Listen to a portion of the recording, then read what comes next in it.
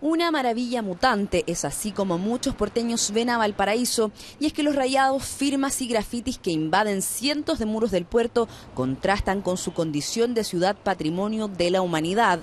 El casco histórico amaneció repleto de estas cuadrillas dispuestas a recuperar este malogrado sector, una iniciativa impulsada por la Intendencia Regional, el DUOC UC y la Municipalidad porteña que busca erradicar los rayados. La licencia para rayar en Valparaíso eh, ha llegado a su fin. Somos muchísimos más los que queremos un Valparaíso limpio. Sí, no, igual da pena. Rabia también porque la gente no tiene cultura sobre lo que están, lo que tienen los años que tienen los edificios es increíble. Algunos tienen 200 años. Limpieza y arduo trabajo que estuvo a cargo de más de 500 voluntarios que se sumaron al desafío Valpo Pinta tu Paraíso. El pasado 17 de marzo, el proyecto comenzó tímidamente con alumnos de Duoc.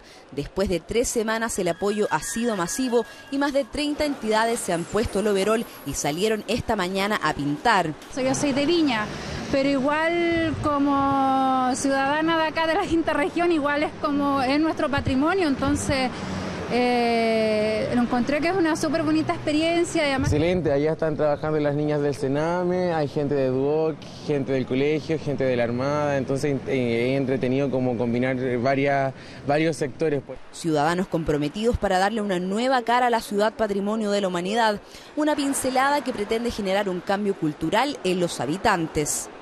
Creemos que hoy día se inicia un movimiento social, cultural en Valparaíso Nuevo que debe continuar. Y para que este enorme trabajo no sea en vano, las autoridades prometen mano dura para quienes maltraten estos espacios e incurran el delito de daño patrimonial.